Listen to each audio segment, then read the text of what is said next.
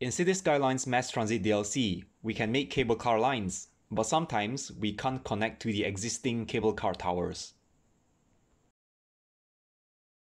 See this? It says that the space is already occupied.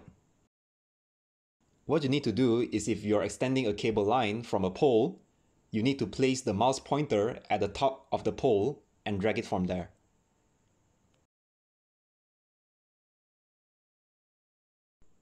Click the top of the pole and drag.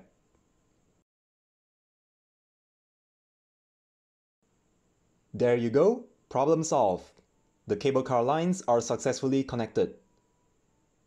I hope you enjoyed this video and please subscribe to my channel and as always, thanks for watching.